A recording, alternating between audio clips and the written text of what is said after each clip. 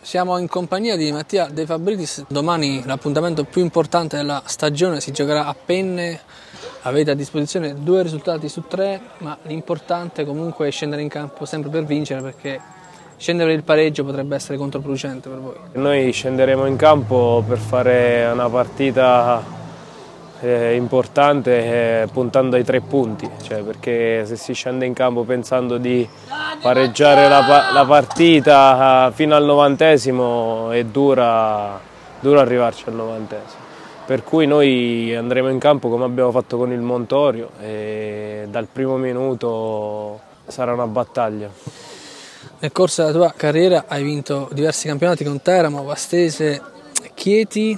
Come si gestiscono questi momenti clou della stagione all'interno dello spogliatoio? Questi momenti diciamo che sono i più belli perché se, se, vai a ritroso torni indietro e vedi tutti i sacrifici fatti durante l'anno, adesso in questo momento bisogna goderseli questi momenti perché domenica arriva il momento più bello che possiamo sfruttare per vincere il campionato. Secondo te eh, dove si potrà colpire in particolare il penne? Ma il penne ha molta qualità davanti e dobbiamo stare attenti ai loro attacchi.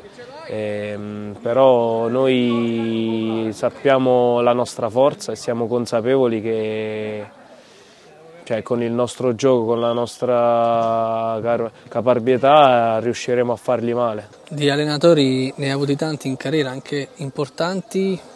In Peppe Soria che caratteristica trovi? Ma il mister è, diciamo che comunque preparato, è un grande, un grande, gestore, sa gestire il gruppo e ci fa stare sereni, ci, fa, ci ha fatto sempre stare bene.